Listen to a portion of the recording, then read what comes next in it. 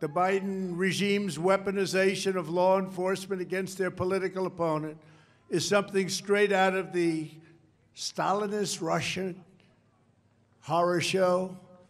And you know, we go Stalinist Russia. And yet, after going over 11 million pages of documents, I built a great company.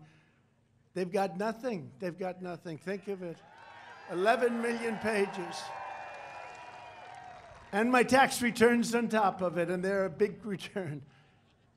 It probably makes me the most innocent man in the history of our country. Friends of mine say that. Nobody in this audience, nobody in Washington ever heard of Nord Stream 2. That's the pipeline. I ended the pipeline. I fantastic person who's got a great future also is Congresswoman. When they go after me, they're going after you.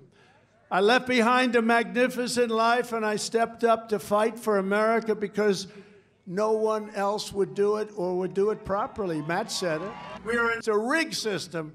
Like we had a rigged election, we have a rigged system. And you almost have to say, what has our country come to? Review after review, even by the biggest, greatest legal scholars, some of whom don't like Trump.